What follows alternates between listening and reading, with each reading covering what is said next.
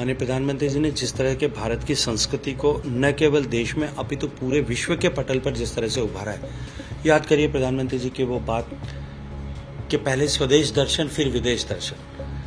पहले भारत में घूमे, हम सब भारत के तो पर्यटक स्थलों पर जाएँ, और उसके बाद में आज किस तरह से परिदृश्य बदला है।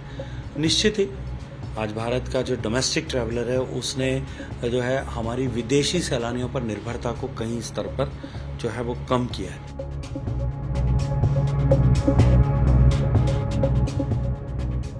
हमारे साथ बातचीत करने के लिए हैं गजेंद्र सिंह शेखावत जी। पिछली बार जल शक्ति मंत्रालय था इस बार कल्चर और टूरिज़्म दिया गया है। बहुत बड़ा मंत्रालय है।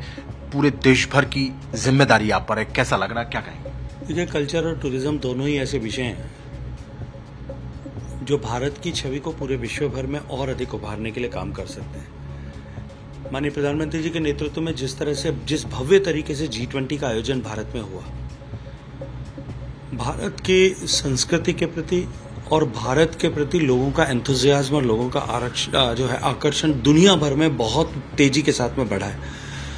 भारत की हैसियत, भारत की ताकत, भारत का सामर्थ्य जिस तरह से पूरी दुनिया में बढ़ रहा है और पिछले दस साल में एक सिग्निफिकेंट जंप जिस तरह से भारत ने इस दिशा में माननीय मोदी जी के नेतृत्व में लिया है, निश्चित ही ये जो भारत की सॉफ्ट पावर है, ये जो ताकत है, ये इस समय में अत्यंत प्रासंगिक है। मैं प्रधानमंत्री जी का अभिनंदन करना चाहता हूँ कि उन्होंने मुझे इतने महत्वपूर्ण विषय, और जो विषय उनके लिए सबसे महत्वपूर्ण भी और उनके दिल के सबसे करीब भी है, उस विषय पर काम करने का सौभाग्यपूर्ण अवसर दिया है।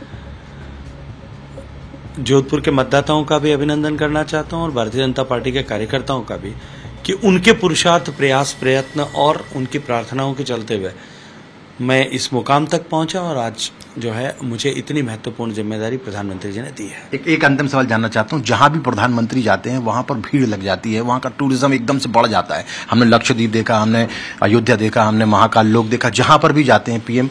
तो आपको लगता है कि प्रधानमंत्री भारत के सबसे बड़े ब्रांड एम्बेसडर है टूरिज़्म के कल्चर के? इसमें कहीं कोई दो राय नहीं।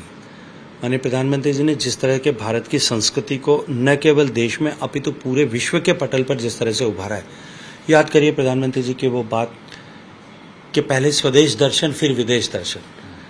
पहले भारत में घूमे, हम सब भारत के पर्यटक स्थलों पर जाएँ और उसके बाद में आज किस तरह से परिदृश्य बदला है? निश्चित ही, आज भारत का जो डोमेस्टिक ट्रैवलर है, उसने जो है हमारी विदेशी सैलानियों पर निर्भरता को कहीं स्तर पर जो है वो कम किया है। लेकिन अभी भी इस दिशा में बहुत कुछ करने का जो है शेष है। और निश्चित ही आने वाले समय में देश का इस जो है डोमेन में, पूरी दुनिया में, वो प्रभुत्व बढ़े, इसको लेकर लेकर हम प्रधानमंत्री जी के विजन के अनुरूप काम करेंगे। बहुत बहुत धन्यवाद हमारे साथ बातचीत करने के लिए। आर के यादव के साथ हिमांशु तिवारी, टाइम्स नानो भारत, दिल्ली।